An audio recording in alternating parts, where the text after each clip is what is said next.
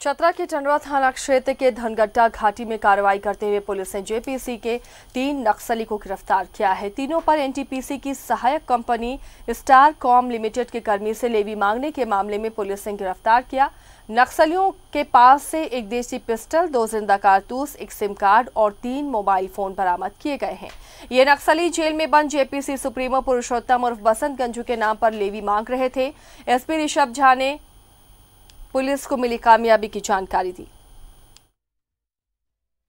के नाम पर कुछ लोग 10 लाख रुपए की लेवी मांग रहे थे स्टारकॉम कंपनी से टंडवा क्षेत्र में।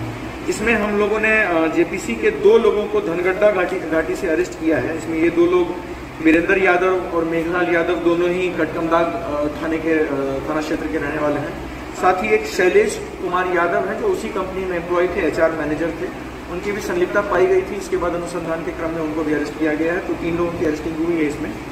साथ ही एक 7.65 एमएम का देशी पिस्टल और दो ज़िंदा कारतूस भी में बरामद हुए हैं।